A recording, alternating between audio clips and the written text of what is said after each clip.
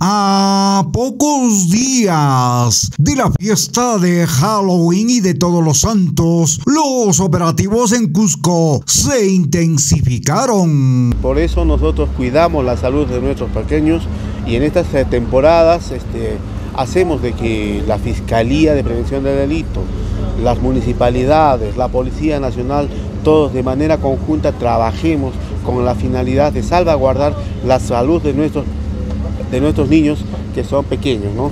en la cual estos productos sí o sí tienen que estar garantizados eh, con una autorización sanitaria y un registro nacional. Esta semana, la Fiscalía de Prevención del Delito, la Jereza y la Policía Nacional visitaron tiendas en Avenida de Ejército donde se venden golosinas y juguetes de Halloween, hallando, sí, así como lo escucha, hallaron productos insalubres, altos y metales pesados y no aptos para ser utilizados. Bueno, estamos encontrando varios productos todos los productos, los padres de familia deben saber que deben de comprar con sus etiquetas que corresponden. Eso quiere decir, han pasado por un laboratorio de control ambiental con la finalidad de que estos productos no tengan metal pesado. Hemos visto con la Jereza, sin el municipio de Cusco, hago la aclaración, hemos visto que todas las máscaras que están en calle Pera, que también íbamos a incautar hoy día con Cusco, no tienen registro sanitario, no tienen registro nacional, son tóxicas, son tóxicos. Eso se debió retirar el día de hoy. Y no se ha podido. simplemente, simplemente hemos tenido que exhortar a que lo retiren, porque comienza a sacar y la gente se nos viene encima, por eso que se, pide la presencia. Santiago ha venido con más de 20 serenos, justamente para evitar enfrentamientos, problemas con la población. Es trabajo de ellos. Y hemos encontrado cantidad de máscaras.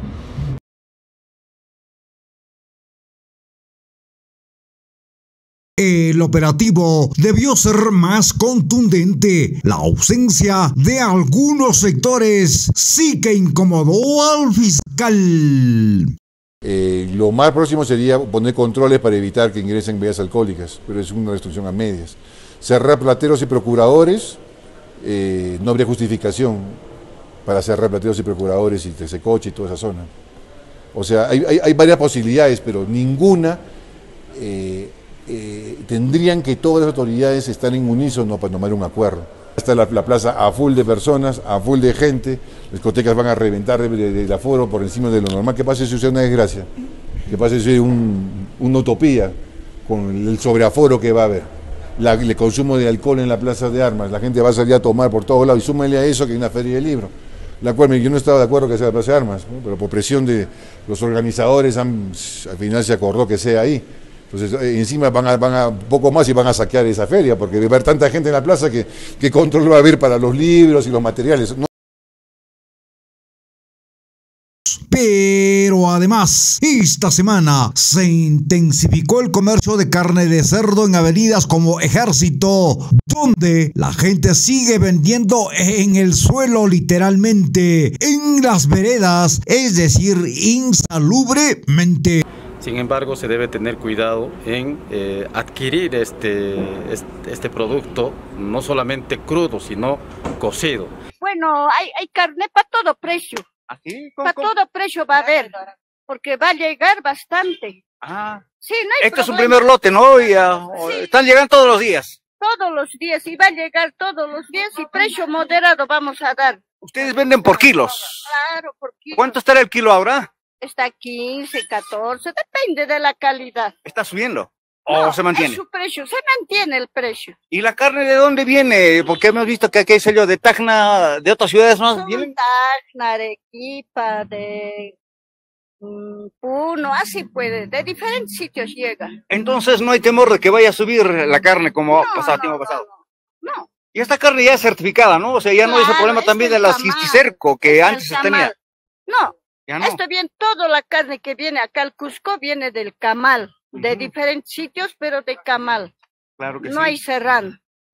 Entonces, si ustedes tienen la posibilidad de verificar la lengua, si es que está la cabeza del, cerdo ahí, verifiquen debajo de la lengua. Ahí van a poder ver eh, muy claro los puntos blancos eh, eh, para que puedan ser alertados, ¿no? Así es, no solamente es de los consumidores este problema, también es responsabilidad de los expendedores.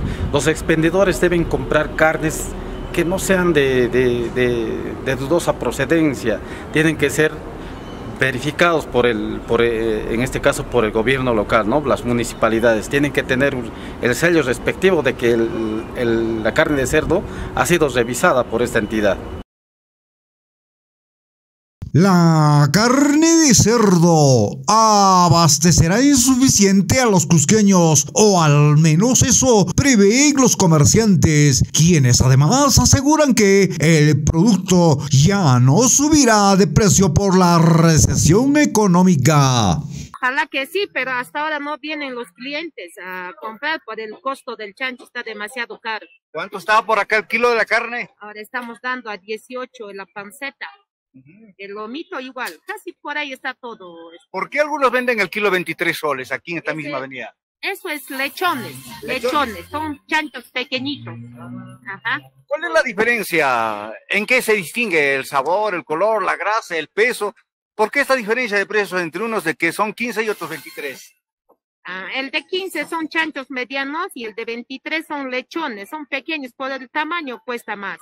¿Son más tiernos? Son más tiernos y es para lechón, pues. Ah, en cambio, estos pancets, esos también sirve para lechón, pero no, no es así como el lechón mismo, no es igual el sabor. Este chanchito que me está gustando, porque la buena pierna tiene, güey. Pero no, tiene sello, pues. Aunque le han hecho los cortes, ¿no? Para, ver si es que tiene la triquina. Claro, justamente. Bien, bien, bien revisada. Oye, he visto, después estoy volviendo acá a comprar. Iba a ir a comprar. ¿Y cuánto le están ofreciendo el kilo? Está a 23 el kilo. 23. Vemos que esta, eh, esta parasitosis es la Cysticercus cellulosae, que eh, se encuentra pues en las carcasas de cerdo. Los cerdos son los que transmiten esta enfermedad al, al, al hombre. Si se consume eh, esta carne en eh, este, este parásito en las carnes que no han sido cocinadas adecuadamente, este, este parásito puede migrar a diferentes partes del, cuerpo. Dentro de ello puede migrar al corazón, puede migrar a los ojos, ¿no? los puede volver ciegos y lo más peligroso es cuando migra al, cerebro. Ahí ya es dificultoso, inclusive les, puede llegar a, a ocasionar la muerte.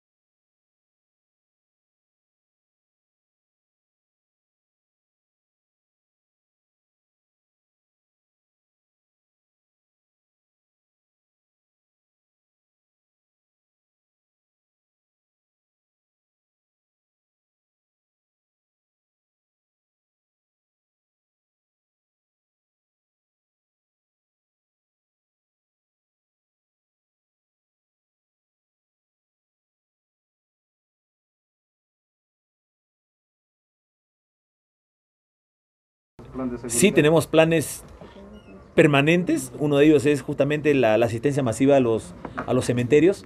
el, de, el, de, el de Santiago, el del Cusco, el de, el de Poroy, ¿no? Estamos viendo cómo coberturar. Tenemos un plan, efectivamente, a través de una orden de operaciones de la División de Orden Público y Seguridad de aquí de la, del Cusco. Todo va a ser coberturado, las actividades normales las garantizamos, se van a dar de la mejor manera los espacios públicos podemos ser cubiertos por los ciudadanos con la tranquilidad de que no van a ser violentados y nosotros estaremos eh, multiplicando esfuerzos para darles la tranquilidad que ustedes se merecen.